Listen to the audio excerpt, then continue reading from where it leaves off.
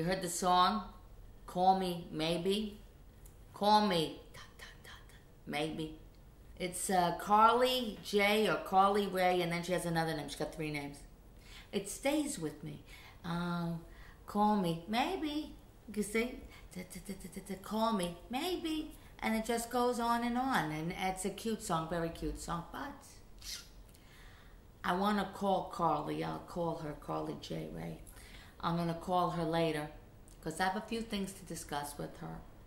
I'm just going to say when you say call me, that's like a request. But then you weaken it with maybe. Now, it's so iffy. Why should she be so iffy? Call me or don't call me. Call me, drop dead. But call me, maybe. I think she should make up her mind. It's either call me or not. When you go approach a man, you don't even know. You see him for two seconds. I think she saw him for two seconds. She whips out her number and she gives it to him. He could be a serial killer. Do we know? No. He could have a disease down there. Do we know? No. She doesn't know, but she'll be in trouble. You gotta be safe nowadays. Gotta be safe. You don't just whip out the number like that.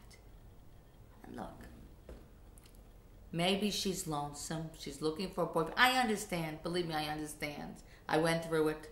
I went through it. And you don't just, though, throw yourself on somebody like that.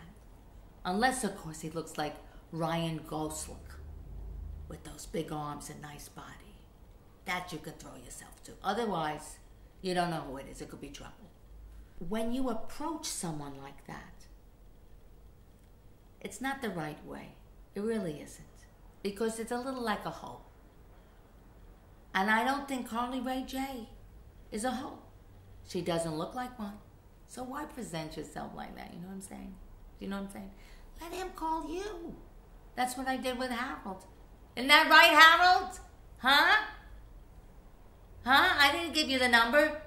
You got my number because you asked me. See, he asked me. That's how you do it.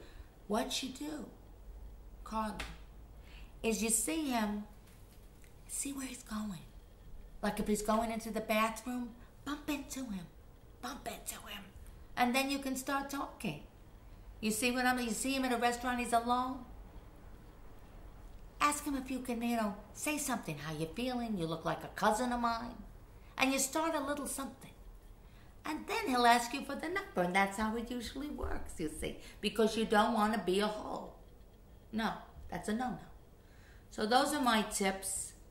I'm going to give you a call later, and it's only with love. I do love this song, but either you're going to be committed, call me, or you're going to wait until he asks you.